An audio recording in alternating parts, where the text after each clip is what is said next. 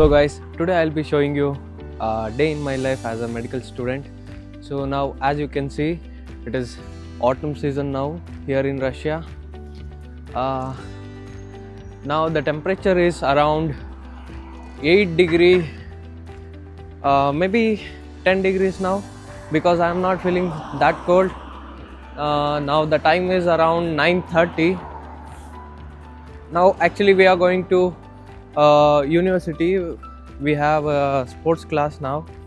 So our day begins with the sports class. As because today it is wednesday we have a sports class now. So come we'll we'll have fun in sports class. Two seconds, failure.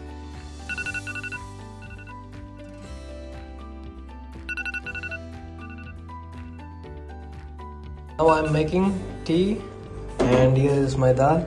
Yesterday I cooked it, now I'm just making it warm. So I have rice here in my cooker. So this is very precious here cooker. We don't get cookers in Russia.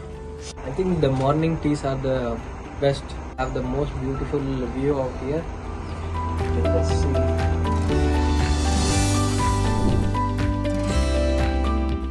So in this building we'll have biology, uh, some more subjects here, and then behind to this we'll have our sports building where gym and other activities will take place.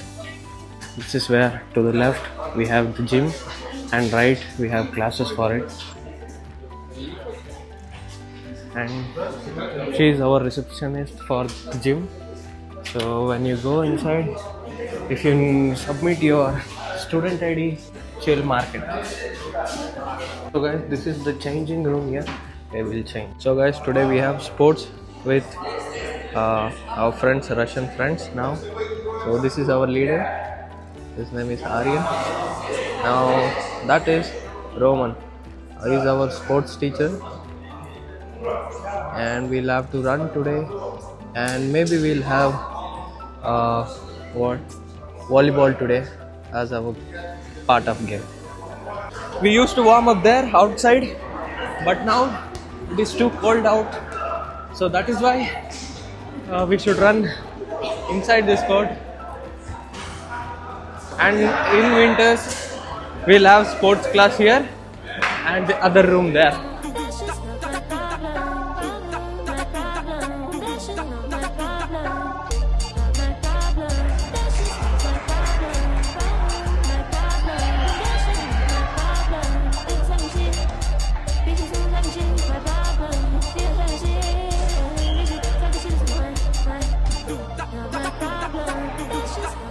This is the view from our college window. You can see there is a huge playground there.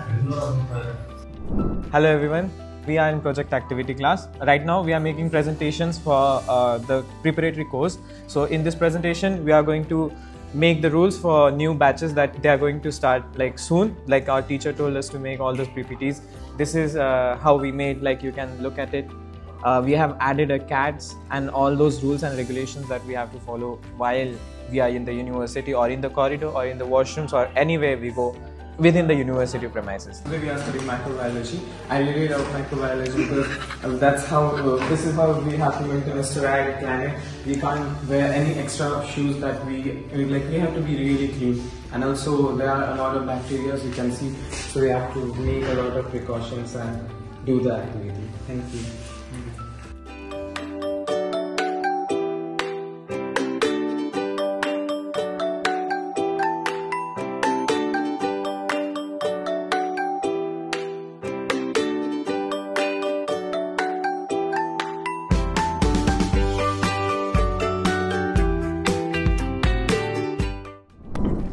So guys, as you can see, this is our simulation center.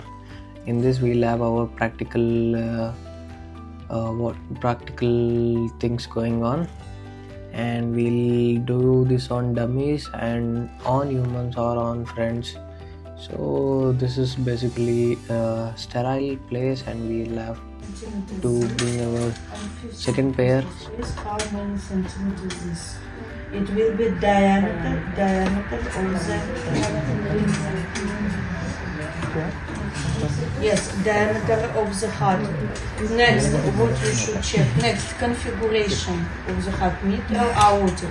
It's normal configuration, not pathological. Normally, 5 to 6 centimeters So guys, now we have just completed all our classes. Now we are going to our home. So we'll continue the vlog there. So guys, now I am actually studying pharmacology as uh, tomorrow we'll have a test on four topics. So we really do have to study here. Most of I studied through videos and yeah, this is it.